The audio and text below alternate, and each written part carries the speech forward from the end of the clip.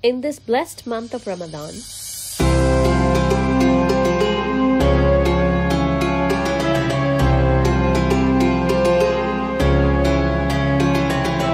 These are the prayers from all the little ones for the Dubai police and the health authorities. The Dubai police and the health authorities who are working so hard for us to be safe.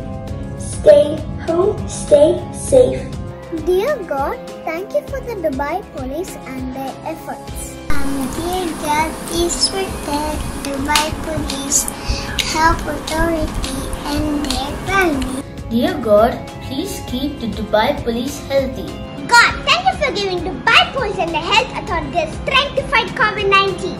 Allah, thank you for saving us and Dubai police from the virus. Together, we stand to support our heroes on the front lines.